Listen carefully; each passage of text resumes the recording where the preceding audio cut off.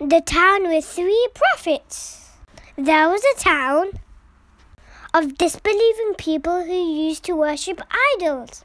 Allah sent them not one, not two, but three messengers to guide them to the straight path.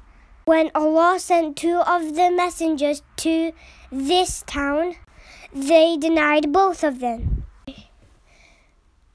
So Allah gave these people another chance to be guided and sent the third messenger who tried to explain to the people that they were sent by Allah to bring them to the straight path.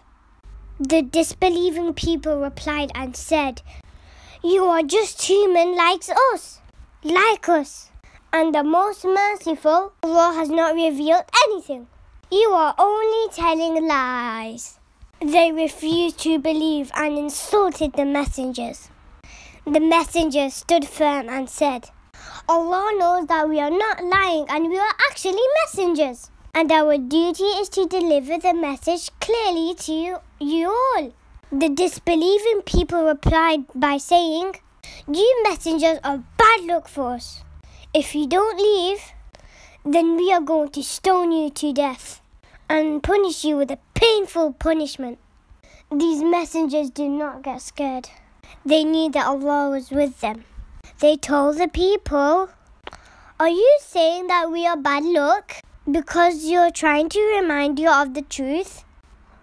All of you are crossing limits. Then suddenly a believer who lived the farthest end of the city came rushing. He advised, Oh, my people, follow the messengers. They don't want anything from you. They just want you to be guided. And why should I not worship the one who has created me, and to whom that you will be returned? These false gods you worship cannot benefit me, help me, or save me. I believe in Allah, so listen to me. But the disbelieving people killed him, and he was told by the angels to paradise. If only my people knew how my Lord has forgiven me and honored me. The disbelieving people of the town were destroyed by Allah with one mighty blast. Why? Because they denied and mocked at the messengers of Allah. As Muslims, we should not deny the truth and be stubborn. But we should be firmly in the truth and prepare for the day where we will meet Allah.